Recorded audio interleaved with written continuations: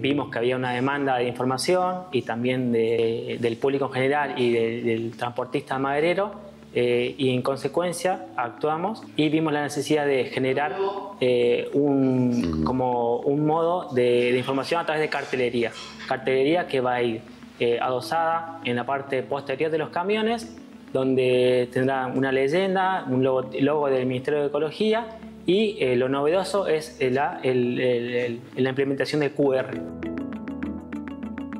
La idea es que el tamaño sea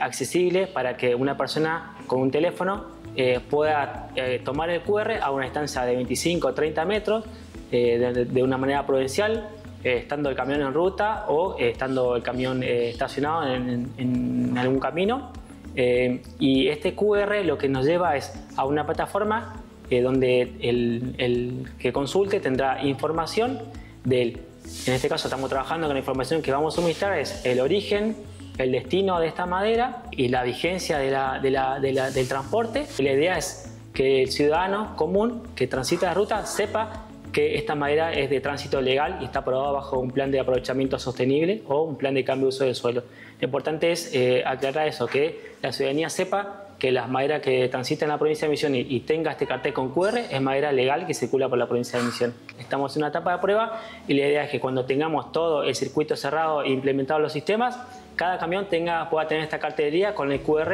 eh, establecido para que la persona pueda hacer su consulta.